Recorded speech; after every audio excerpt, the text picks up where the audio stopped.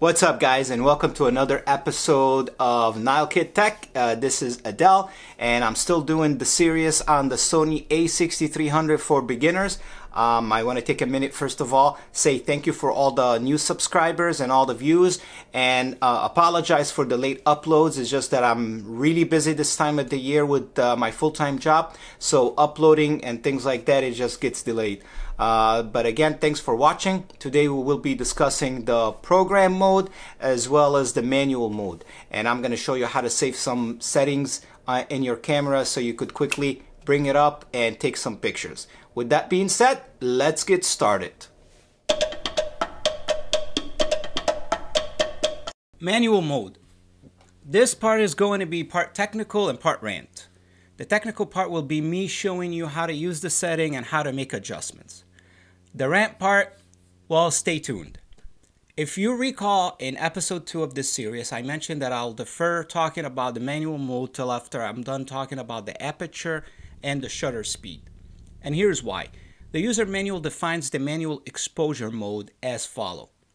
Allows you to shoot still images with the desired exposure by adjusting the exposure, both the shutter speed and the aperture value, which is the f value. The user manual's definition might be enough to figure out what this mode does. However, if you're still guessing, let me help you out. As explained earlier, if you adjust the aperture, you cannot adjust the shutter speed. And if you adjust the shutter speed, then you cannot adjust the aperture. This mode allows you to manually adjust both the aperture and the shutter speed, so that's why it made sense to talk about it after explaining aperture and shutter speed.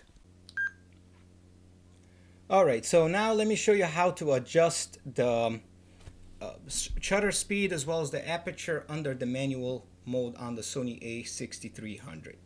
Uh, I have it here set up in front of my uh, Panasonic and let's start off by turning on the camera. Okay, perfect. And um, I always have it here. I start off, as you could see, um, I always have it in manual first, uh, excuse me, in auto. So let me move it on to manual. And here we go. And this is the part where you're really going to appreciate um, the Sony a6300 system. I don't know if this is the same deal with other cameras, but once you're in the manual mode, you will notice here that at the bottom of your screen, you have this value right here, which if you remember from episode 2 in this series, this is the shutter speed. Right next to it is the f value or the aperture. And right now ISO is set up on auto. So to adjust the shutter speed, you would use this dial on the back of the camera. So what you would do is just literally start moving it and as you could see camera is getting darker. The image and if you go back in reverse starts to lighten up. If you remember the shutter speed is how sensitive the sensor is to the light. So this on the back right here takes care of the first value there. This is one way to remember it which is the shutter speed. Next one is the f-stop and that one you would be adjusting it from the top dial like this. Start moving the dial. As you could see the aperture value is changing. I don't think you'll be able to notice much difference on the LCD and the image changing like the shutter speed. And then the auto the ISO well if you also remember from episode 4 ISO has a button right here where you could also adjust it using uh, the same dial after you press the button. As you could see, and I believe you could also see the effect of it on, on the image on the LCD. This is pretty much it. So remember, top dial handles the shutter speed, bottom dial or the back dial handles the f-stop or the aperture, and then uh, this button right here, the ISO button, will handle the ISO for you. Pretty straightforward there's nothing to it. Okay? Now, time for my so rant. This is the part where I rant about the whole manual mode. Um, so, a lot of professionals like to shoot in manual mode. I got nothing against that, and I, I don't think that that's a bad thing. It gives you a lot of flexibility if you know what you're doing. But as a beginner, as somebody who's starting out in photography, do not be hung up on that. Do not think that if you don't shoot in manual mode that you will be ridiculed or considered an amateur. Um, we all do this for different reasons, and photography for me is a hobby. Uh, it's something I'm doing for fun. It's not something that I'm doing professionally, at least not right now anyway. I do have a full time job. My career is something completely different. I'm a full time CPA, I own my own practice. Uh, so this is something I do for fun. So I'm not worried about what people think or what people uh, conventional wisdom do or whatever it is. I just like to learn and shoot what I think looks good.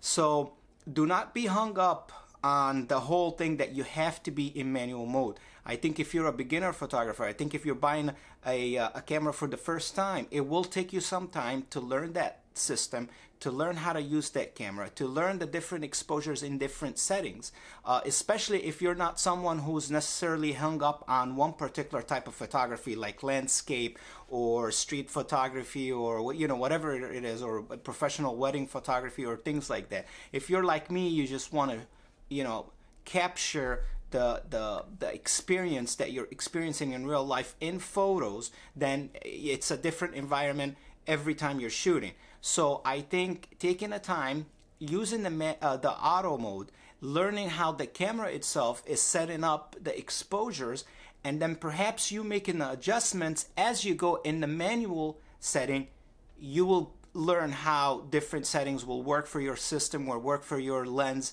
and you know that sort of stuff. And it will be a learning experience for you. Versus you're going into manual mode as a beginner and then you start adjusting the aperture or the shutter speed or the combination of both and you're kind of like shooting in the dark. You don't have a benchmark or something to start from in order for you to be you know able to to learn your mistakes. So when the system i think that using the the manual or excuse me the auto system um, learning how the camera sets up the, the the photo for you and then adjusting from there you will be able to learn yourself so that's my rant. Um, I hope it's uh, it's okay, and um, I hope you guys will get something out of that little rant. Now let's go ahead and continue with the rest of the other modes in this episode.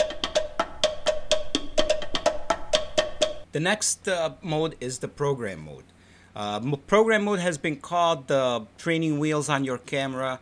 Uh, it really is a good uh, option after getting out of the auto mode and before you master the manual mode.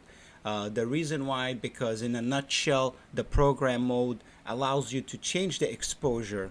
Uh, that's the shutter speed as well as the aperture value. However, they change it for you in tandem, meaning uh, if you to try to adjust the exposure, they adjust it. Uh, they adjust both the shutter speed as well as the aperture uh, within a certain range.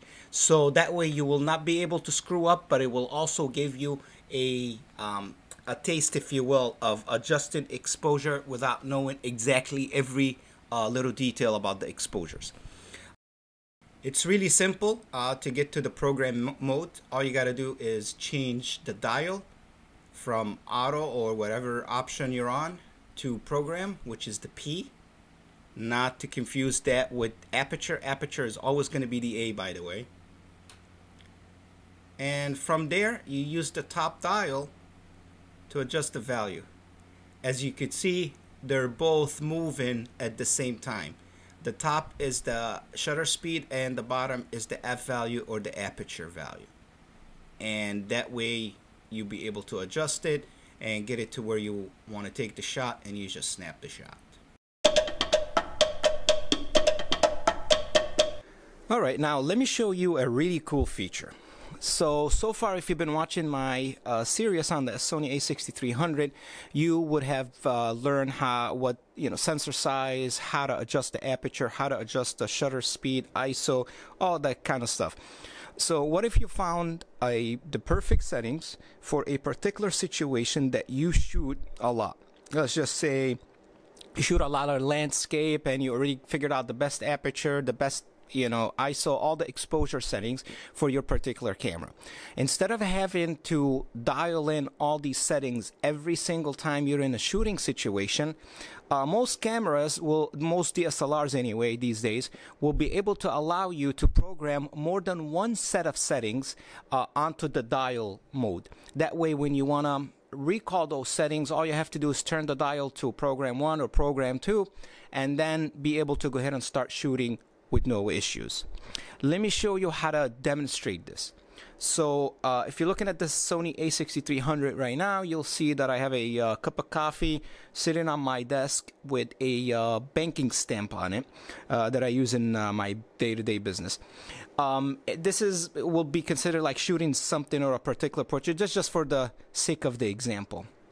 So what you want to do is turn the dial to whichever mode that we already discussed uh, in the previous episode.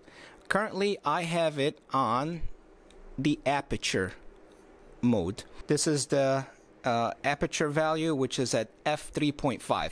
This is actually what I shoot a lot at, and the, right now the, the the picture looks pretty good. Which is, you know, the the subject is uh, focused on. It's pretty sharp, and then the background is pretty blurry.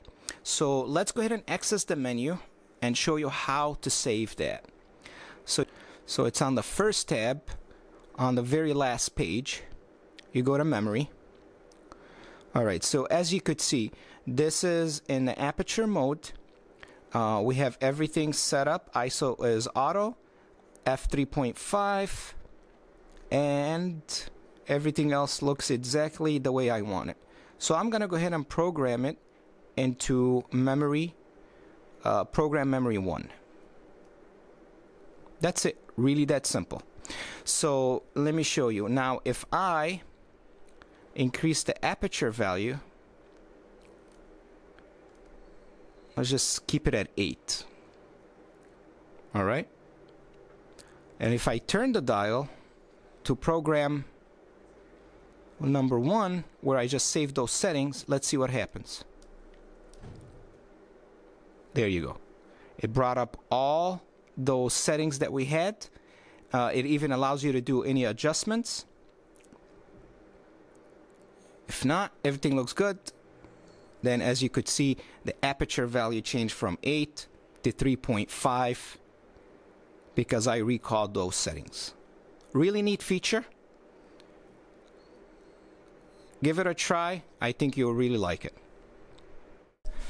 Hey guys, uh, if you made it this far, uh, thank you for watching. Uh, please consider subscribing and uh, we'll talk next week. Uh, I will be uh, uploading a video, hopefully this time on time, and we will be discussing the last three modes on the dial left. And we'll, that will be moving on to the menu and other features of the Sony a6300. Thanks for watching and have a great day.